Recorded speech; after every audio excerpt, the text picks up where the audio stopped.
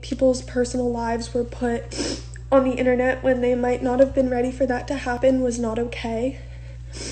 I apologize for what I said. I was extremely hurt and I felt betrayed. So I did what I had to do to make myself feel better. But I know that that was not the right thing to do and I will make sure that that does not happen again. I'm I don't want to make excuses for myself because I know that that is not a true apology, but I love you all. Um and since I do put my life on the internet, I feel like it's my job to tell you guys when I make a mistake that way, you guys know, the people that look up to me know that you have to do the right thing and should not handle problems the way that I did. Um, Nessa, I'm sorry that you're getting hate. Um, you seem like a very sweet girl, and I'm very, very sorry about that. Chase, I'm very sorry that you're getting hate. You do not deserve to be told the awful things that people are telling you to do. And you will always hold a very, very special place in my heart. And as do all the people that are watching this and can see I was I made a stupid mistake because I was hurting really bad. And I let my Twitter fingers get the best of me, which is something that I never wanted to do in the first place because that's not who I am.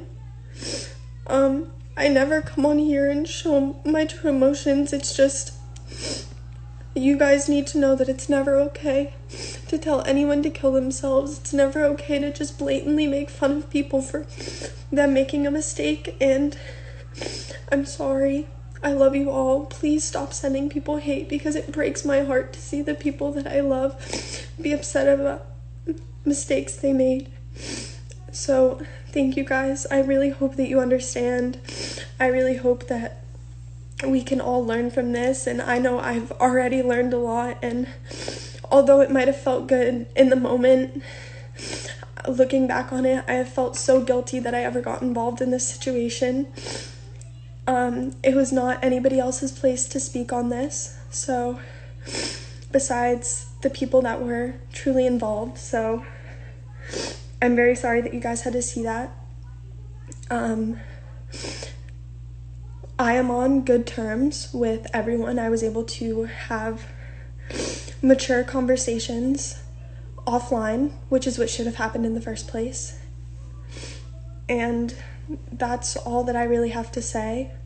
But thank you to everyone that reached out in support to me. But please don't bring anyone else down because that is not what I stand for whatsoever.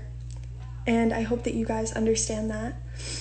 Um, also, speaking on this, if you guys do look at my Twitter, I have lots of links to places and petitions you can sign for Black Lives Matter, the Yemen crisis, and all types of problems going on in the world. Um, that is also very important, and that is what we should be focusing on right now.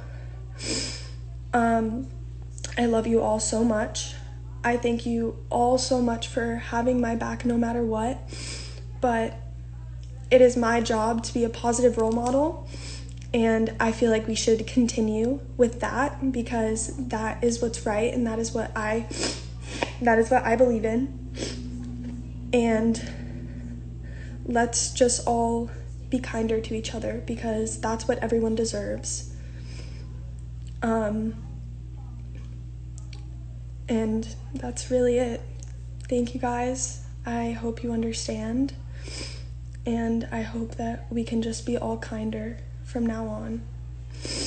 So, thank you guys.